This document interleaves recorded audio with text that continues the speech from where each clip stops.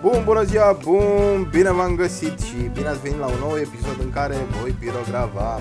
De data aceasta am ales uh, o imagine cu o maimuță, gorilă, nu știu ce, mi s-a părut funny și am zis că ar trebui să o pirogravez. Sper că mi-a ieșit uh, cum vă așteptați voi. Uh, am hotărât să fac videourile mai mici, probabil o să le fac undeva în 4, 5, maxim 6 minute. În total am filmat, cred că tot procedeul la o oră și ceva. Uh, încerc să structurez și să, să fac, uh, să las doar chestiile importante. Uh, am folosit uh, o imagine printată uh, pe o foaie, uh, după aceea am folosit un indigo și am desenat cu creionul peste, peste acel desen uh, și am reușit să printez. O să fac probabil un video în care o să arăt și acest procedeu.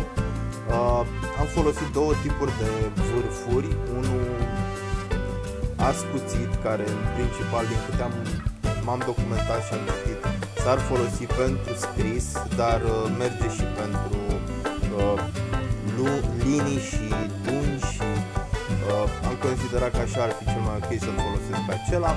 Uh, după, acest, după ce am terminat cu el, pentru umplut iar suprafață mai mare, am folosit un al doilea vârf. Uh, sper, să, sper că vă place ceea ce este. Din când în când uh, am uh, uitat să menționez în celălalt video și o să spun în acest video, se face ștergerea vârfului uh, pe o cârpă umedă, iar la final, după ce tot produsul este terminat, să zic așa, uh, se folosește o cârpă cu ulei.